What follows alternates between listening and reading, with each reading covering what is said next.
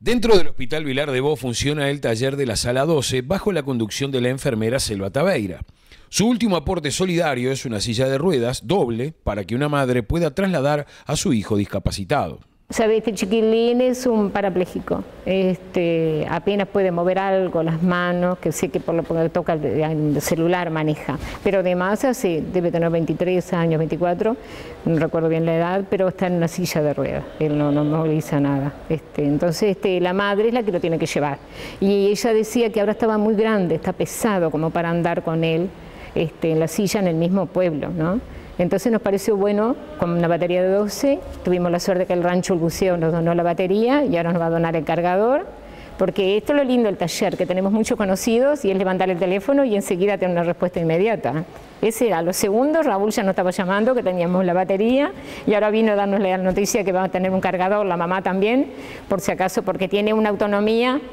bastante grande la batería, pero queremos que la madre pueda salir los mandados y que no se quede con él. Pero va a ser el puntapié inicial para empezar a hacer cosas así, que los que queremos para la sociedad, es una silla de rueda, un andador, que nosotros podamos, para mostrar que el usuario privado de libertad acá adentro también puede colaborar con la sociedad. Cuando mm, llegó esa silla tenía dos motores en las ruedas, pero le faltaba todo y pensamos que nos habían pedido ya una señora, este, Lourdes Martirena, una usuaria de ACE que es del Chui, nos había elogiado uno de los trabajos que habíamos hecho y nos había sugerido que ya que éramos tan inteligentes, capaz que le podíamos hacer una bici para su hijo. Selva explica las características de los pacientes que integran el taller. Y son casi todos, este, bueno, con la patología mental, que casi todos son esquizofrénicos, este, algunos están privados de libertad hace mucho tiempo, mucho, mucho tiempo, y estamos logrando este, que ellos recuperen esa posición postural de como anoche que tuvimos hasta las nueve y media, cerca de las nueve terminando este, esta silla, que vuelvan a tenerse confianza a sí mismos,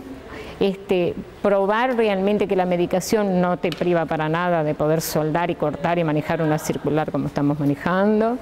Y, te da también esa posibilidad de que nosotros hacemos y que esa relación entre en el taller sea también propicia después para cuando queremos reinstalarlos, este, derivarlos a la casa como el trébol que tenemos, ya hemos afinado mucha cosa acá en el taller. Es un lugar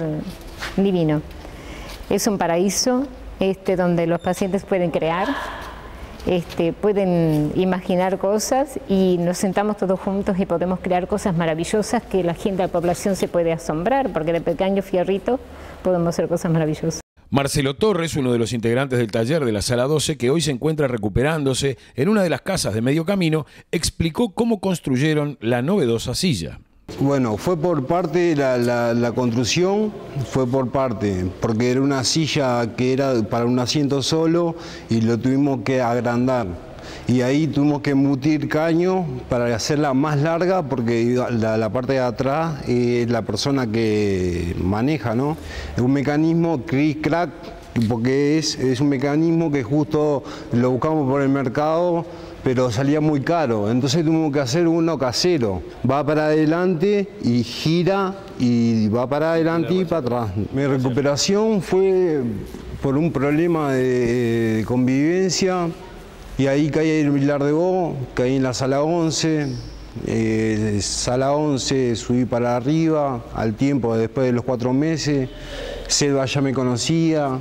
y tal, volví al taller de nuevo, ahora estoy en la casa de un medio camino, el trébol, y tal, y me estoy recuperando y voy llevando todo adelante y estoy mejor de la mente.